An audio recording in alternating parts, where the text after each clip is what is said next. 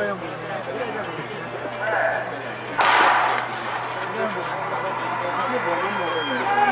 Closes touch of the 400 meters semi-final adults, leading the round to Jimmy Kenya, followed by Johnny Kano Kenya. Uh, William Berry lying third position. Now leading the round is Johnny Kano.